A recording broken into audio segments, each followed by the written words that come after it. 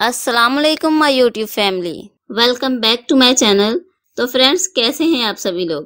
Friends, पेट में gas भरना दरअसल जिसम में इजाफी हवा बढ़ जाने की वजह से होता है।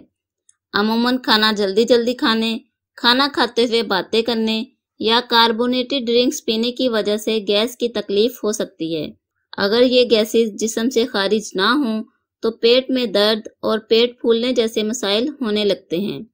फ्रेंड्स, पेट में गैस बनने की बहुत सी वजूहत हो सकती हैं। इनमें से कुछ मैं यहाँ बयान करना चाहूँगी, ताकि आप इन चीज़ों से परहेज करें और अपने आप को चाको चौबंद रख सकें।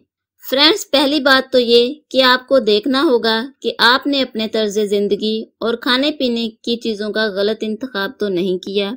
दूसरा, ज़्यादा मिर्च मसाले और चटपटी चीज़ों का बकसरत इस्तेमाल करना, जिसम में मौजूद बैक्टीरिया का गैस ज़्यादा बनाना मैदे का डेयरी प्रोडक्ट्स और शक्कर वगैरह को जजब ना कर पाना, आंतों में ज़रूरत से ज़्यादा बैक्टीरिया बनना। इन सब वजूहत की बिना पर आपको मुख्तलिफ़ किस्म की अलामत का सामना करना पड़ सकता है, जैसा कि चक्कर आना, ब्लड प्रेशर, मिजाज में बदमजगी, धड़कन का तेज होना, घबराहट होना, मुँह से बदबू आना, खट्टी डिकारे आना, कब्ज होना, मसूड़ों का फूल जाना मुँह में छाले और ज़ुबान का फट जाना।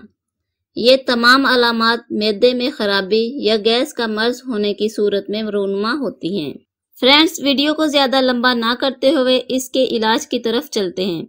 वैसे तो ऐसी बहुत सी गज़ाएँ हैं जिनके इस्तेमाल से इस मरज से बचा जा सकता है, लेकिन इस वीडियो में मैं आपसे सिर्फ़ दो नुस्खे शेयर करूँगी, जिसे इस्तेमाल करके आप इस मरज से निजात पा सकते हैं।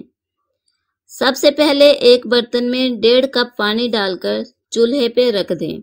इसके बाद इसमें डालें चार से पाँच ताज़ा पुदीने के पत्ते और एक बड़ी इलायची।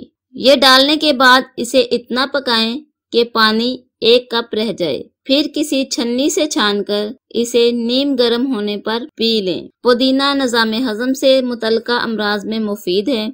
गिजा को हजम करता है और रिया को खारिज करता है।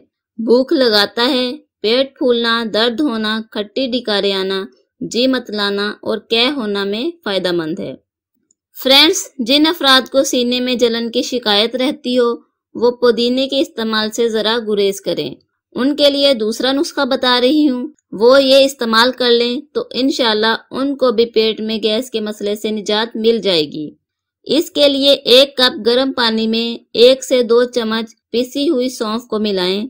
जब पानी थोड़ा ठंडा हो जाए तो पी लें। इसे खाने से पहले या बाद में पी सकते हैं। सौंफ खाना जल्द हजम करने में हमारी मदद करती है।